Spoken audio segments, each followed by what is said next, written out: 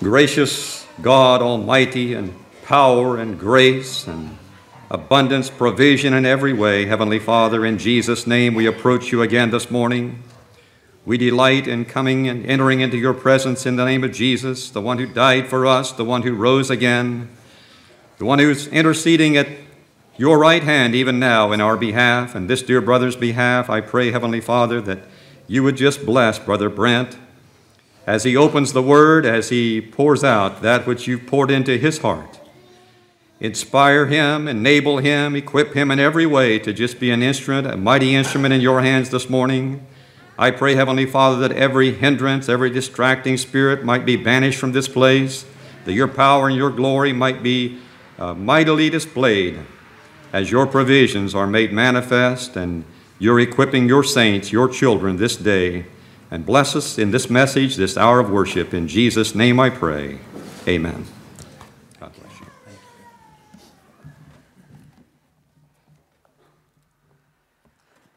Good morning and greetings in Christ's name. It is really a joy to be in front of each one of you today. And just to be honest with you, just within a couple hours of being here yesterday, I just felt the Holy Spirit coming down on my life and being released in my life in a new way. And it's a joy to walk with you so many times in life, and all of you know this. There's many times that we walk alone if we're really, truly walking on the path of Christ. And as I was here yesterday, and we've not even been together very many hours, I see many people that are walking on the same path as I am and are walking toward the throne of God. Someday we will all stand together in heaven, but today we have an opportunity to be together with each other. So I'm humbled to just be there, be here with you today. This message has been burning on my heart for months, and to be honest with you, this past Wednesday, I was feeling so filled with this message, I was feeling like I almost could take a box and just go out in the local town and stand up and shout this out because it was feeling coming so strong in my life. And it was speaking so much to me. I want to just uh, read from the passage of Scripture that we've been pointed to uh, in Acts to give us a little bit of a sense of where we're going in this weekend. Acts 2, verses 42 through 47. I'm just going to read them quickly. And they continued steadfastly in the apostles' doctrine and fellowship, and in breaking of bread and in prayers. And next, we see in this passage the result of what they did, those four things that they did there. And fear came upon every soul, and many wonders and signs were done by the apostles. And all that believed were together and had all things common, and sold their possessions and goods, and parted them to all men, as every man had need. And they, continuing daily with one accord in the temple, and breaking bread from house to house, did, house, did eat their meat with gladness and singleness of heart, praising God and having favor with all the people. And then it says here, and the Lord added to the church daily such as should be saved. And the thought came to me in the last several weeks that if we would look at these four things that they did in this passage, and we ask ourselves that many times in our life, why don't we see the power of God and the strength of God coming down on our life? If we would look at these four things that they did, they continued in the apostles' doctrine, which we know was Christ's doctrine. And if we would continue in fellowship, and if we break bread together and do the ordinary things of life together, and then binding that all together, where it says here, and they continued in prayer, if we do those four things, I believe that the power of God will come in our life, and we will see God poured out in our life in a greater measure.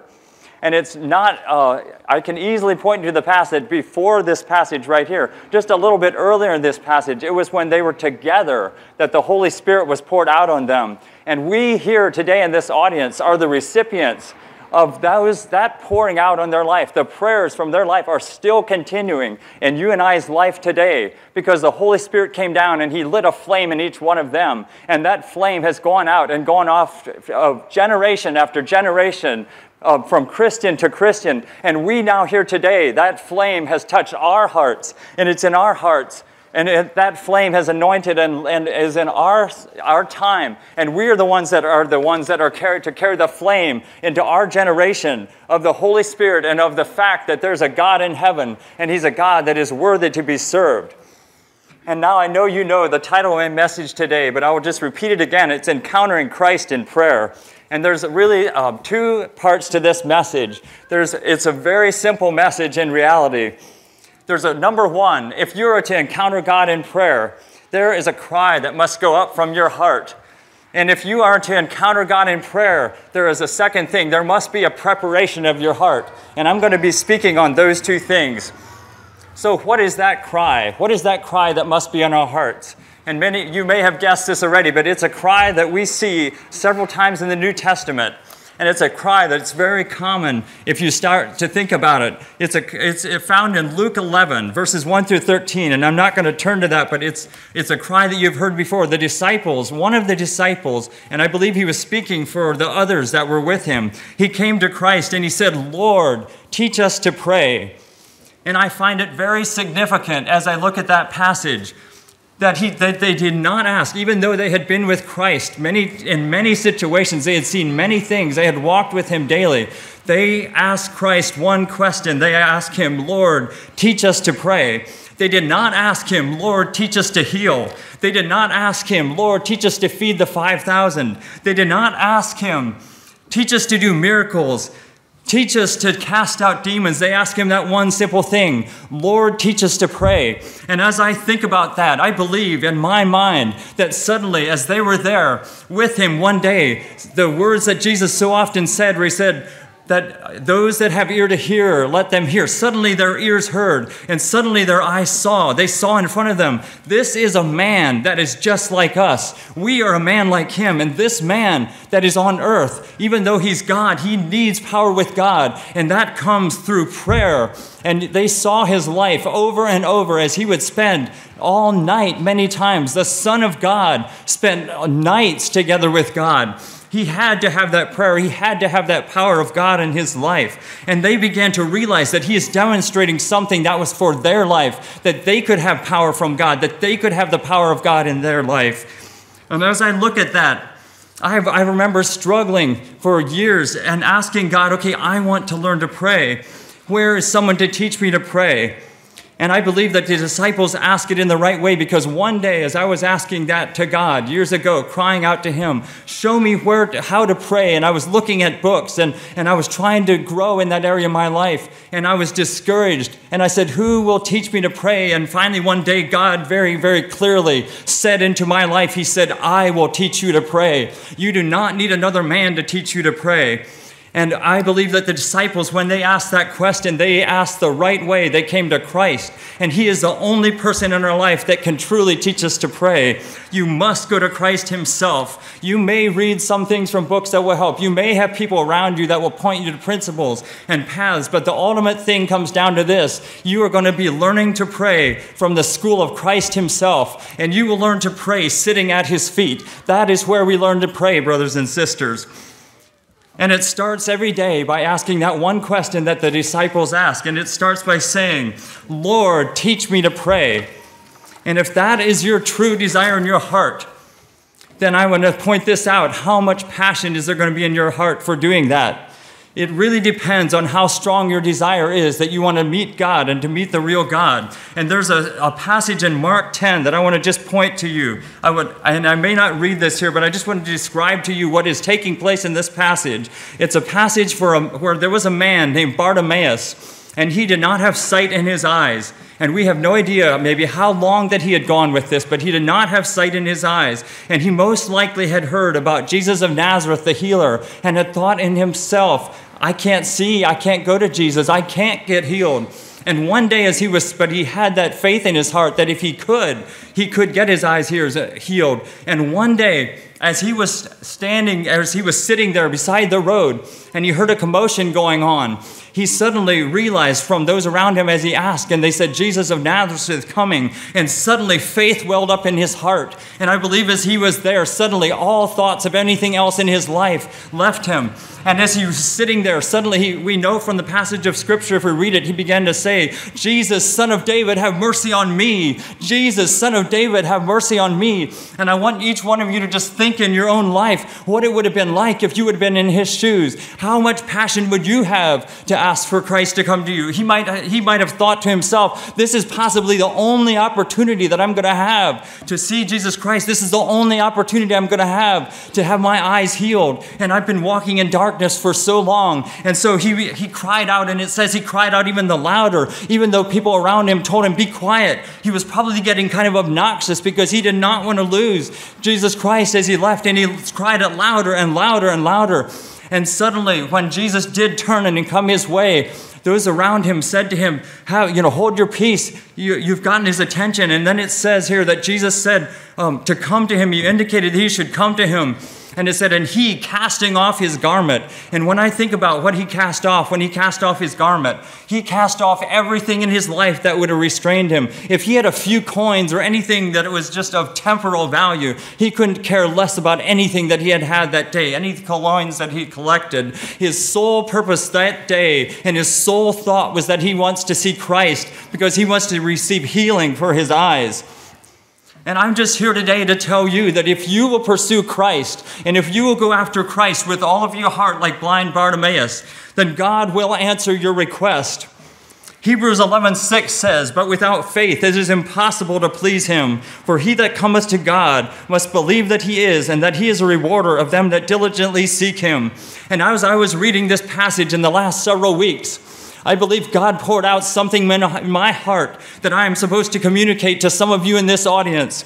And it is for you that are children or that are under your parents' authority, or those of you that may have just accepted Christ in the last years of your life and you do not feel like a mature Christian. This is what God is saying to you. You have a soul, and I have a soul. And in God's eyes, those souls are equal value. There is not one of us that has more power with God than anyone else. It comes down to how much you pursue Christ. And if you will pursue Christ with all of your heart, you will find him. Jeremiah 29 says, and this was in the Old Testament to Old Testament, uh, to the children of Israel, it says, I will be found by you, saith the Lord. And if you will pursue God with all of your heart, I can truly tell you that you will find him. If we look at Hebrews 11 6, nothing is said in that passage about what age you have to be. Nothing is said in that passage about how long you pursue Christ or how long you've walked with Christ. Nothing is said in that passage about how long every day that you sit alone with Christ. And brothers and sisters, we shall not, we so many times try to add to what the scripture says. We shall not add anything to this passage. It simply says one thing if you pursue him diligently with all your heart, you will be found by him. And it simply says that he will reward you. And if that is every single one of us, as we pursue Christ with all of our heart, He will reward him. He will reward us. There's a passage in Zechariah 3:10 that has been has meant so much to me over the last number of years, and it's a, a, a, small obscure passage, but it's a passage where God, through prophet Zechariah, says about a man. He says, "Is not this man a burning stick snatched from the fire?" You and I, each one of us, are burning sticks snatched from the fire. We are snatched from the uh, from the clutches of the devil. We are snatched from hell. And you know what? In opposite of that, God now has a hold of us, each one of us that is walking with Him. And now we are the flaming sticks of God. He has snatched us, and we, are, we have the flame of peace and passion for Jesus in our uh, hearts. We are now the burning sticks that are called to go forth in our generation. And in order to do that, we must have that cry on our heart Lord, teach us to pray. And when I think about that, what should it look like every day in your life? This is what it's going to look like as you say, Lord, teach me to pray. It's saying this, Lord, this spiritual screen in front of my eyes that so often I can't see. Lord, just pull back the veil that I can see the way that you see. Help me to see from your eyes. And when we think about our ears, we pray, Lord, teach me to pray that I can hear the voice behind me saying, This is the way, walk ye in it that we can hear. We want to hear for each situation that God leads us to. Lord, help me to know how to hear and to pray what you're wanting to be prayed for this particular situation. And then we think of our heart. Lord, teach us to pray. Oh, Lord, help me to just feel the things that are on your heart. Help me to feel the burdens that are on your heart. And with my eyes, as my tear ducts cry, Lord, help me to weep over the things that make you weep. And then we come to Him with all of those things, and then we just say of our lips, Lord, oh, Lord, teach me to pray that I can pray forth the, your very own words back to you, Father in heaven, that I can have power with God and with men, that they can see the Almighty God and that they can see all that you have for them and the great provision that has come to them from the cross. I'm here to proclaim to you every single day in your life, as your head comes off the pillow, you need to ask that question of God Lord, teach me to pray. As your church, as you get together as a church, as you come together and you bow your heads, you bow it together, and together you say, Lord, teach us as a church to pray. We want to pray with a deeper anointing, we want to pray with a deeper authority. In every situation in your life, as you go and as you walk, as you're in places of business, and as you come across people, and as God opens your eyes to see the things in their life, and oftentimes destruction in their life, you say to yourself in your inner man, you say, Oh Lord, teach me how to pray for this person, for this specific situation. And as you open your ears to hear, God, I am telling you, God will pour out in your life. He will show you how to pray. And it's a cry that needs to go forth from your heart. Luke 18 has a passage of a widow that is very familiar to us. And it talks about a place, it talks about a time in her life. And this is just simply a parable, but how she cried out. And I'm just going to read this passage to you. And he spake a parable unto them. This was Jesus speaking. To this end, that men ought always to pray and not to faint, saying, There was in a city a judge which feared not God, nor regarded man. And there was a widow in that city, and she came unto him, saying, Avenge me of mine adversary. And he would not for a while. But afterward he said within himself, Though I fear not God, nor regard, regard man, yet because this widow troubleth me, I will avenge her, lest by her continual coming she weary me. And the Lord said, Hear what the unjust judge saith. And shall not God avenge his own elect, which cry day and night unto him? Though he bear long with them, I tell you that he will avenge them speedily. Nevertheless, when the Son of Man cometh, shall he find faith on the earth? And when I see that passage, two things stand out to me. Number one, she was crying day and night, and he's pointing out that if you will cry out day and night, that God will hear you by your diligence. He sees your heart and He will pour out on you. And the second thing He says in this passage that really stands out to me is He says, Will He find faith on this earth? Will he find faith on the earth when he returns? And I believe that God is looking for people, and as he returns and as he looks down, he's asking the question Do you have the faith? Do you have the faith to ask me, to teach me to pray, Lord? And I just think, I was thinking last night as I was looking through my notes, I remembered back to a time in my own life when I was in my, uh, in, in my early 20s and I, I had walked with Christ for over 15 years at that point, and I just realized that there was still something missing from my life. I wanted more of God, and I just began to asking, ask God that question Lord, teach me to pray. And that was the desire of my heart with all my heart. And I began to spend days fasting before the Lord.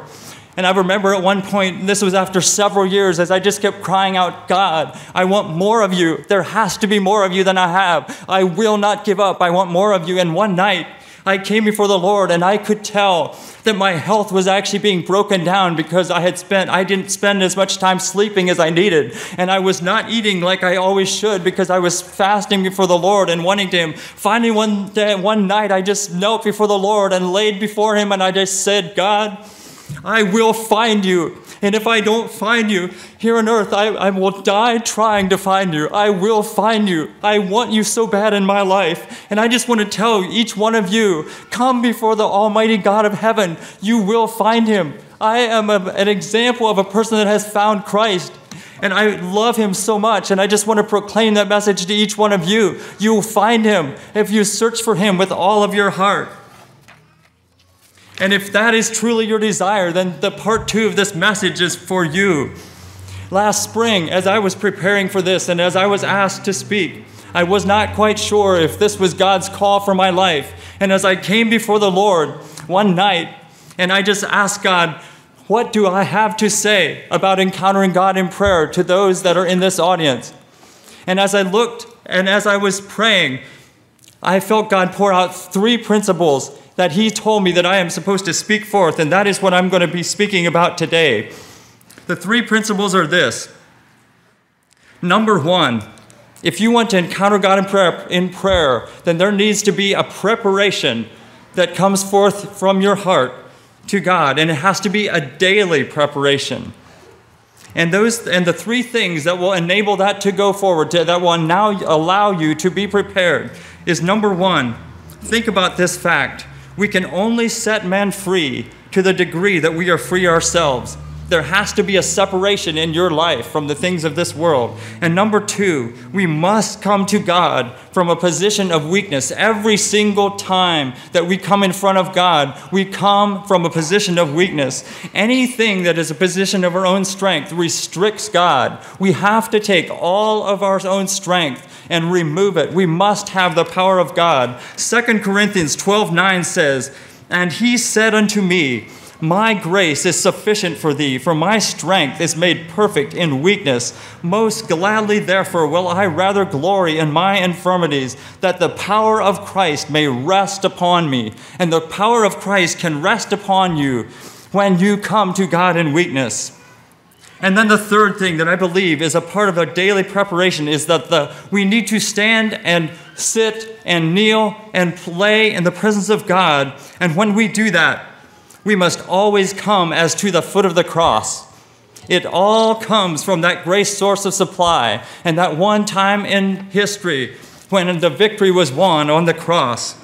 And as I stand here before you, I was thinking to myself that I really stand in fear and in trembling because as I stand before you, I will readily admit to you in my life that I have not always walked in freedom and I am a common, ordinary person, and I am a vessel that has at times walked in my own strength instead of in God's. And I am also a person that has been a vessel many times that came to the cross for the supply, but I also came with my own backup plan just in case God didn't work. And I come here to tell you today that in, oh, it's a good thought to think to do all these three things, but in and of our own strength, we don't even have the strength to do these three principles in our life. The Holy Spirit will have to enable us to do these things in, in our lives. And so I come to you to tell you if I do not want you to go from this uh, meeting together today and saying, well, this is something for some people, but I can't do that. I don't have the ability to do that. None of us, brothers and sisters, have the ability to truly do this.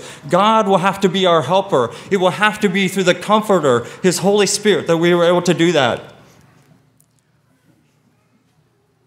And as I begin to share some of these principles and the principle of freedom, I want to read from you.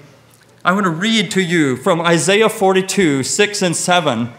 Reach up your hand, each one of you, and reach up your hands with me to God and hear what His word is to each one of you out of Isaiah 42. I, the Lord, have called you in righteousness. I will take hold of your hand.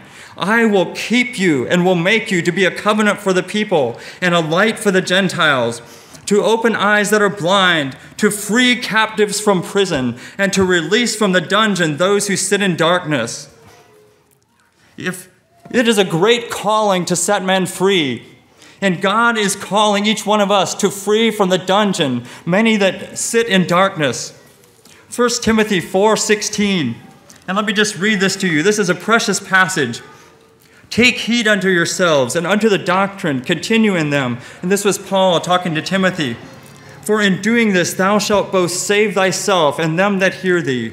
And in the NIV version, it says, Watch your life and doctrine closely, persevere in them, because if you do, you will save both yourselves, both yourself and your hearers. 1 Corinthians 6:17 says, Wherefore come out from among them, and be ye separate saith the Lord, and touch not the unclean thing, and I will receive you. The call to living a life of freedom is a call to separation from the world. It's a call of a separated life. It's a call of a clean life. John 3 3 says, And every man that hath this hope in him purifieth himself, even as he is pure. When I think of this principle of freedom and what it would really mean to be free, we sometimes don't truly understand what it means to be bound and, until we are bound. And years ago, I had an example that so illustrated to me the principle that you cannot set men free unless you are free yourselves. We had invited to our church a ministry that went throughout the world that went specifically with the task of freeing those that could not free themselves, that are being trafficked or in human slavery in many dark dark places around the world. And as that person was there sharing in front of us, there was a video that he said that he was going to show us, and he showed it to us in front. And I, as he showed it to us, I was in the back of the audience holding one of my daughters, looking and watching and listening to his presentation. And this video that he had was just a short clip, but he said this is actual footage of someone that is being freed from slavery. They, they had gone in and into this house, and they opened a trapdoor, and I saw in front of my eyes people being lifted out of a dungeon that were trapped there, that were enslaved there. And as I was sitting there and I was holding, or as I was standing there and I was holding my daughter in my arms, I saw out of that dark pit being lifted out I saw several children that were young girls, and suddenly my eyes, I had never experienced this before in my life before. I felt in my spirit, I could not even think anymore. I was staggering. I was staggering as I was holding my child. I was so overcome with emotion because suddenly I saw the daughter in my arms transfixed over top of that picture right there. What would it have been like if my daughter would have been down there and had been enslaved and had all kinds of horrible things done to her? And I sank to the floor and I, I couldn't even help myself. And my daughter said, Daddy, what's wrong with you? And I just laid, I literally laid right there on the floor, weeping before the Lord by what I had seen. This is how dark it is to be entrapped and enslaved. And we as a people, as we go forth and cry out to God, Lord, teach us to pray. We're crying that out because there's people that need freedom and it will need to come through our life because nobody in that uh, video that I saw it had to have people that were free to be able to free people. Nobody down in that pit that was enslaved was able to free themselves. They did not have that power. We, as Christians who are free and who are living free, we are the ones that go forth to free people. Exodus 19:6 says, "And ye shall be unto me a kingdom of priests and a holy nation. We're called to be priests, and every day as we come before the Lord, and especially as we come before the Lord in prayer, our cry of our heart should be, Lord, cleanse me. And as we're a priest before the Lord, we take the time to cleanse our life. And I often do it right in that first moment as I, as I bow my head, Lord, cleanse me in my life. And I ask God this question Is there anything in my life that is not as it should be? John 15, 4 says, Ye are my friends, if ye do whatsoever I command you. And let me ask you a question here today. Have you ever asked God what things He would like for you to remove from your life in order that you can walk and speak, that God can walk and speak to you in a greater way, free from distractions? And let me ask you this question again what has God commanded you for your life that is different than others? Every one of us should be able to answer that question. What is the, the, commands of God for your life? I believe that if we truly go to God and if we truly ask Him, He will show specific things to us that He wants us to remove from our life. John 8 36 says, If the Son therefore shall make you free, ye shall be free indeed. Ask God to point out anything in your life He would like you to remove, and then be willing to do that. And it might be good things that He remove, remove from your life. You need to simply do what He says. And I'm struggling a little bit today whether I should share this or not, but I'm just going to take the chance because I don't want to draw any attention to myself. But years ago, I learned that there was things that God was calling me for my life that was different than other people. And many, many times, God did not, the others did not understand me. Even my fellow Christians around me may not have understood what God was asking me to do. But I learned that I had to live with a radicalness in my life, and I had to live with radical obedience, what God said to me in my life life. And an example is from this past year in January, many months before I was asked to speak here and before I was asked to do several things that I have been involved in this year. I heard the Spirit of God say to me one day in early January, He said, Brent, if you are to walk in what I have called for you this year, you will need to be very free from distractions and you will need to be able to hear my voice. And something that will hinder you hearing my voice is that if you read news, you will be distracted. And God told me, Brent, you dare not read any news of politics this whole entire year. And I will confess before you that several times in that beginning stage, about three times, I began to read the first few lines of a news story, and the Holy Spirit came down on me very strong, and He said, Brent, I told you not to read those things. Do you want to hear my voice or not? Do you want to walk in the calling that I have for you or not? And I'm not saying that God has asked each one of you that thing to do in your life, but He may ask many different things in your life that is different than I have. And you must walk in those callings if you are to be the friend of God. There's many times in the past that God has said to me as I begin to walk in, I lived for years as a single person in an apartment by myself, and as I would walk in the door, there was times God would say, food will be a distraction to you. You must not eat food tonight. At one point in my life, for months at a time, God actually took music out of my life. He said, the only music you are to hear is when you walk in Sunday morning and praise the Lord with the other saints. All other music, I want just your time with me reading the word. And in order to walk with God during that time period, I had to obey that. I'm asking you today to uh, come to the altar before God at some point this weekend and ask God, what are the specific things that you have for my life?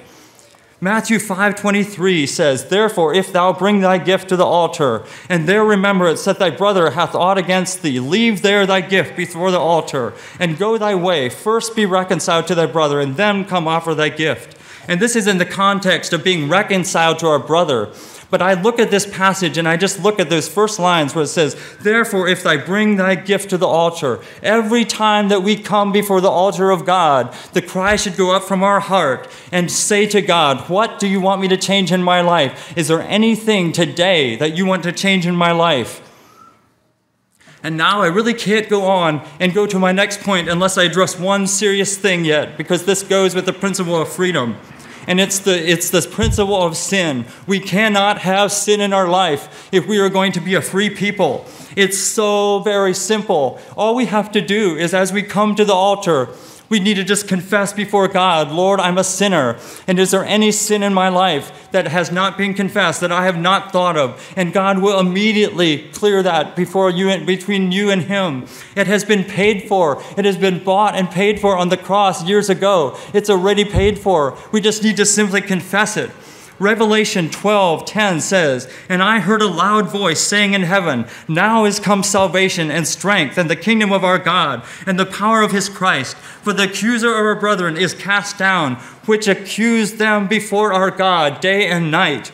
And the reason sin is so serious in our life is because as we come to God in prayer, if we come to God with any sin in our life, then the devil has an inroad to hinder our prayers.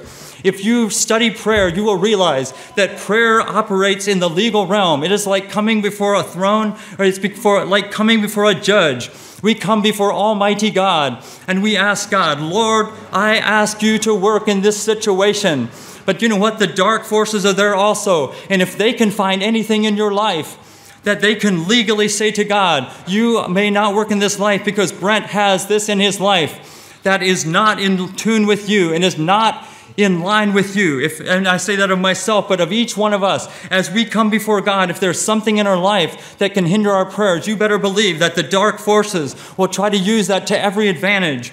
And an example from Scripture that shows this very plainly was in the Old Testament as the children of Israel went to conquer in the land of Canaan. And at first at Jericho, they had a very great victory. But we know as they went on, as they went to Ai, there was a man that was named Achan that had previous to this had stolen something that he should not have. God had said, "Don't take anything into from the uh, city that you are conquering. You must not take anything. You must destroy it completely." And he did not listen to the word of the Lord, and he hid that thing. It was like hiding a sin under his tent.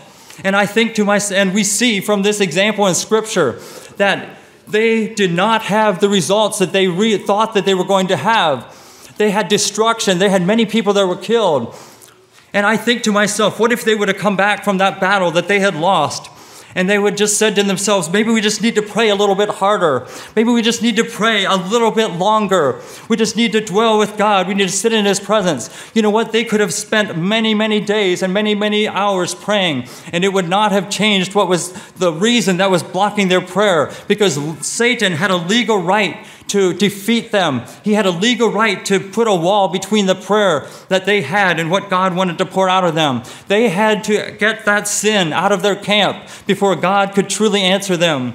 And that is how God works with each one of us. We must eliminate sin from our life in order that He can work in our lives to the greatest extent. And now I want to just come to point two First, we have to have the principle of freedom in our life. And then the second thing is that we must come to God in our weakness.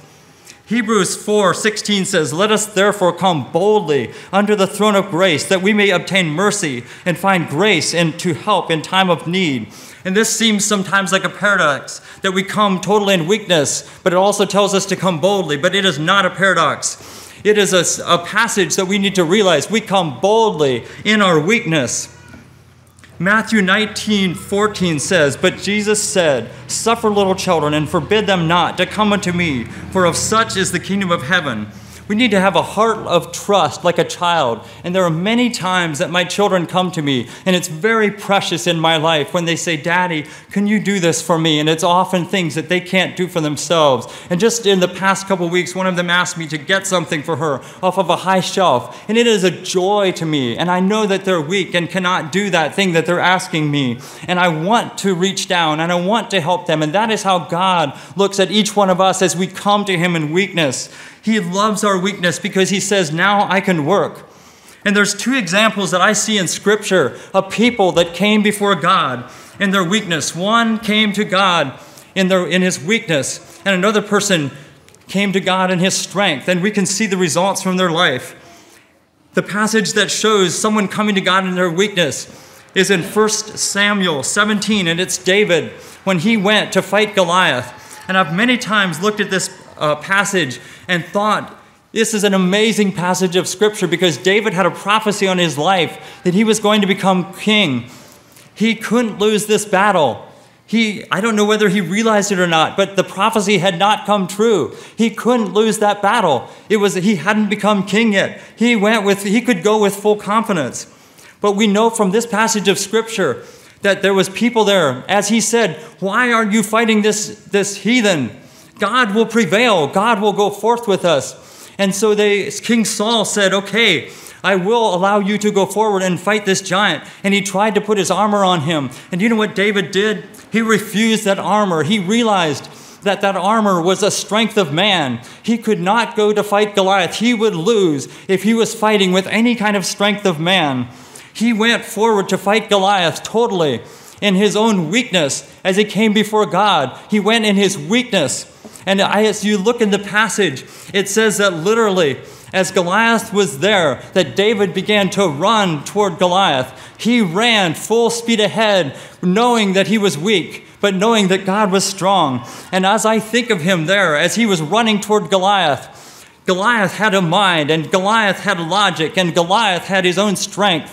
And he said, logically, and by my own strength, I will win this battle. But as David came into that situation, he looked at Goliath, and you know what he saw? He saw behind Goliath, he saw all the hordes of hell, he saw the abyss, he saw all the demons of darkness. And as he knew that was behind him, he knew what was behind him. It was God, the Almighty Lord of hosts. He was the one that was going with David as he went forth. And as he went there, I just imagine him as he took his hand and started swinging that slim, that sling, that just like it says in Isaiah, God will take hold of your hand.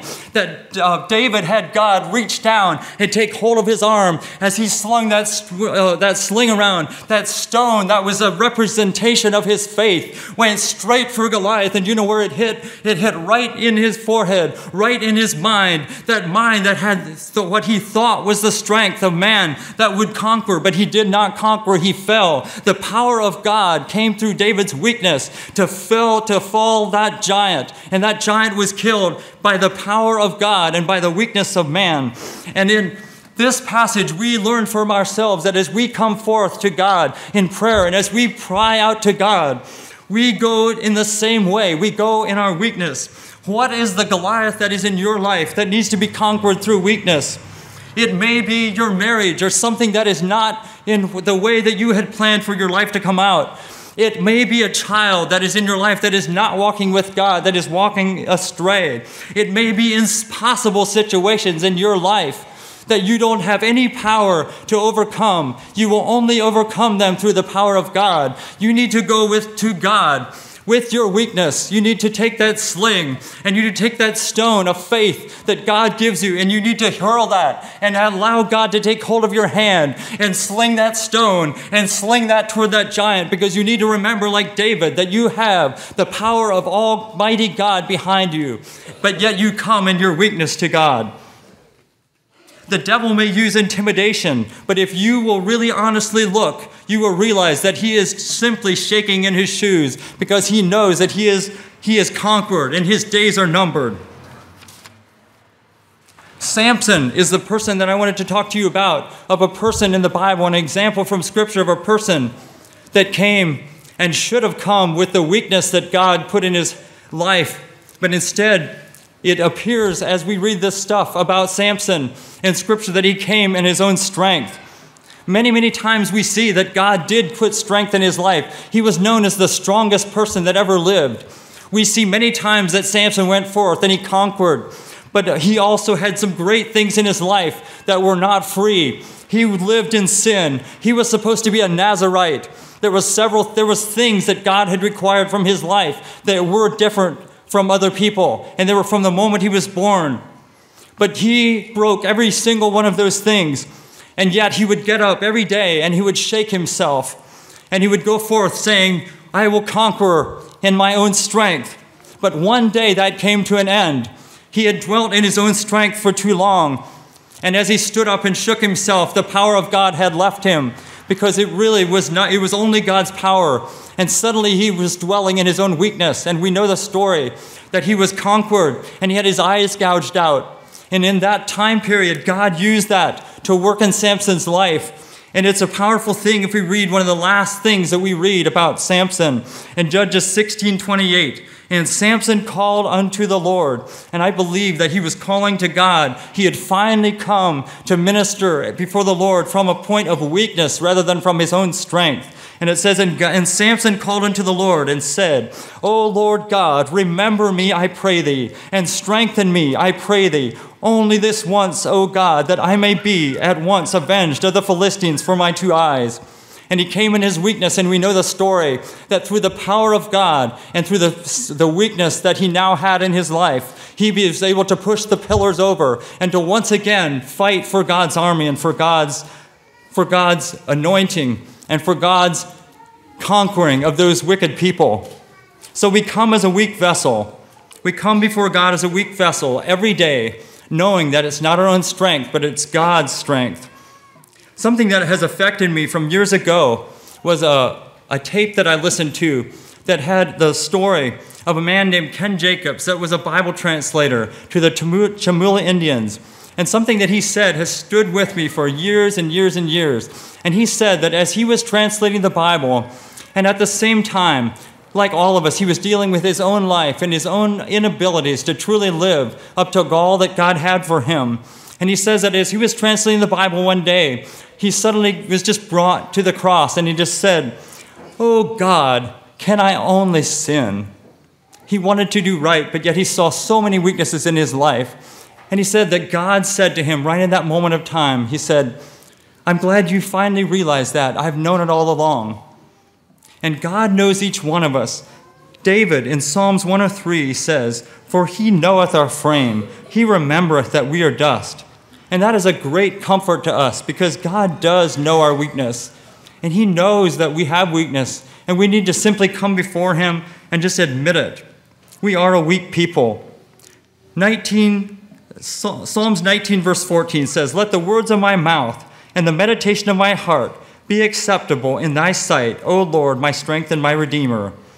2 Corinthians 12, 9 says, And he said unto me, My grace is sufficient for thee, for my strength is made perfect in weakness. Most gladly, therefore, will I rather glory in my infirmities, that the power of Christ may rest upon me. We can only have the power of Christ rest upon, resting upon us as we come in our weakness. And then this just brings us to the third point that I believe God spoke to me months ago. And He just said this We must come to prayer always as coming to the foot of the cross. 1 Corinthians 2 1 through 5. And maybe I'll just read that passage to you tonight or today. 1 Corinthians 2 1 through 5 says, And this was Paul writing. And I, brethren, when I came to you, came not with excellency of speech or of wisdom, declaring unto you the testimony of God. For I determined not to know anything among you save Jesus Christ and Him crucified. And I was with you in weakness and in fear and in much trembling. And my speech and my preaching was not with enticing words of man's wisdom, but in demonstration of the Spirit and of power, that your faith should not stand in the wisdom of man, but in the power of God. As we come to Christ and as we come every day before Him in prayer, we must come as coming to the cross. It is all His power in front of us.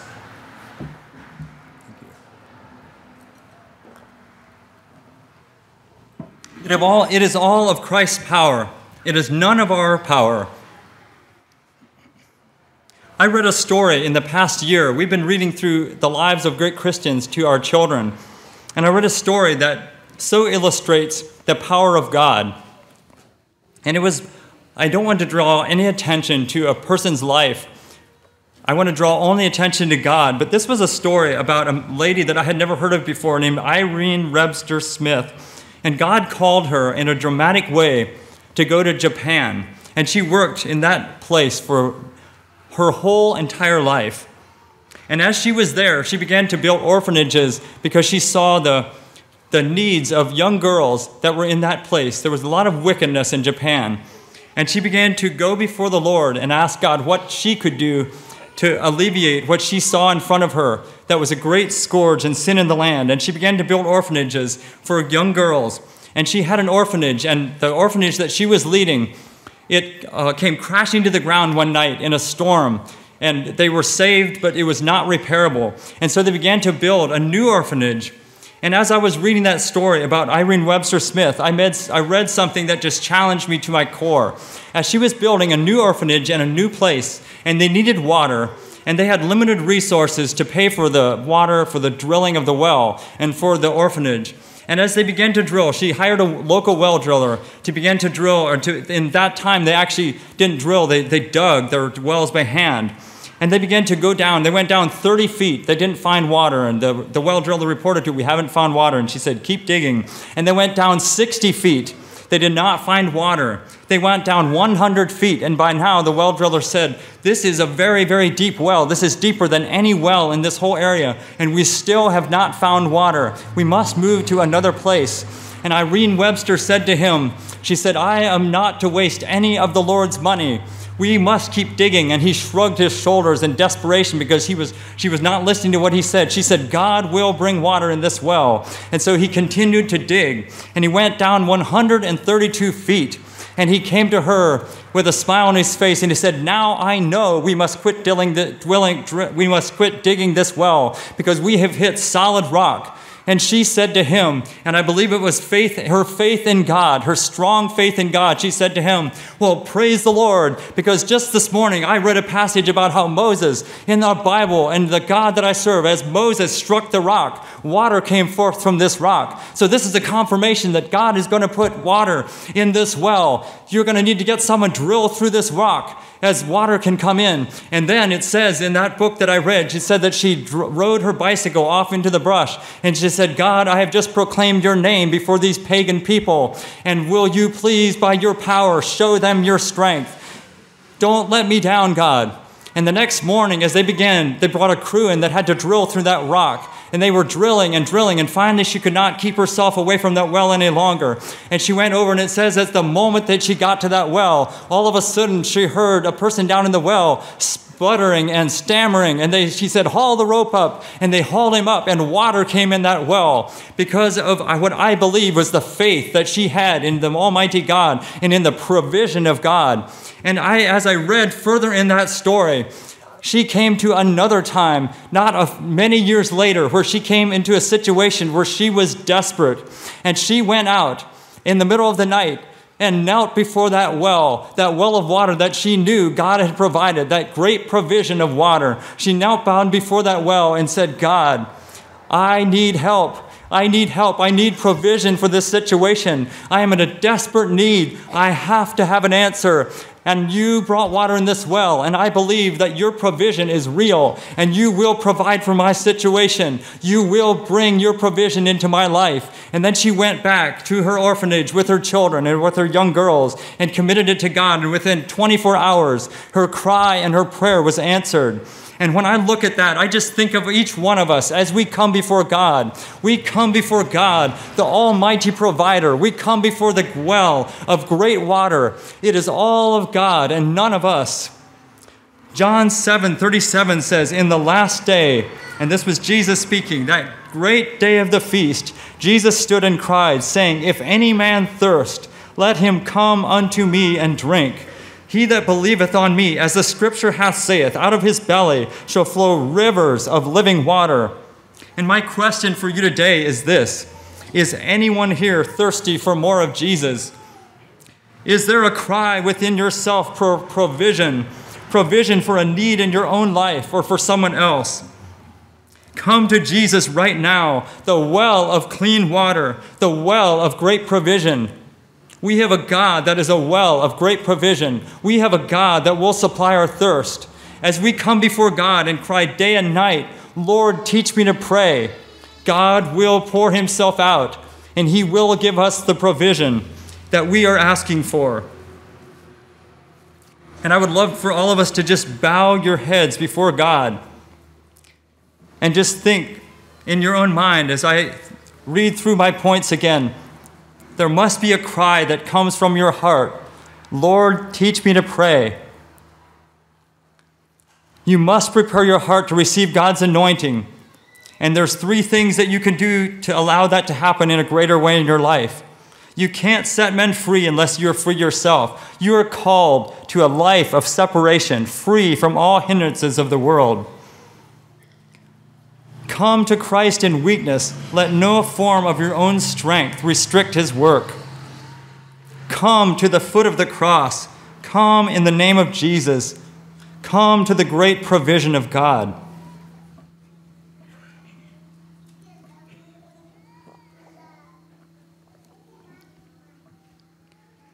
And just ask yourself this question Are there any areas in your life right now that you are not living separated from the world? Are there any areas of separation that God has asked of you that you have not been willing to surrender and to obey? And as we're here in front of Him, in the quietness of your spirit, tell God your heart that you want to do all that He commands you. You want to be known as His friend.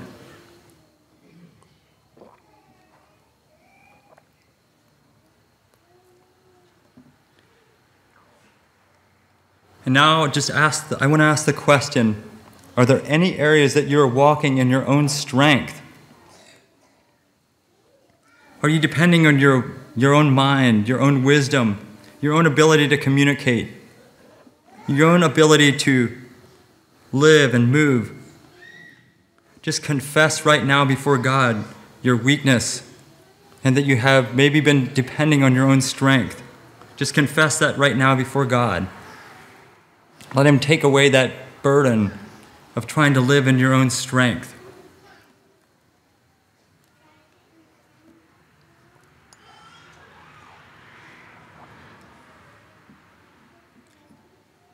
And then, right now, as we just dwell in the presence of God, let us just come as to the cross, that great source of supply, that great source of provision like Irene Webster, let us just kneel before the well of God, which is the cross. Let us kneel before the cross. And as we're kneeling before the cross in our minds, let us just think about the blood that was spilled from Jesus Christ, who was nailed to that cross. And as that blood ran off of his body and dripped, each one of us is under that cross that has accepted Christ as our Savior. And that blood is washing away our sin. That provision that God made is washing away our sin. Come to the cross before God. That great cross of provision.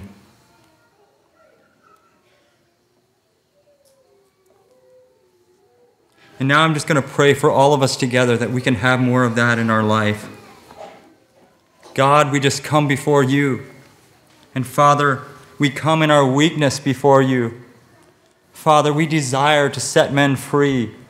And God, we desire to know and learn how to pray. Lord, we just come to you today as to the cross of great provision. And God, we pray that you would pour out on each one of us refreshing from the very throne of grace. And Lord, help each one of us to take what you give us and take it freely and come to you with joy this morning.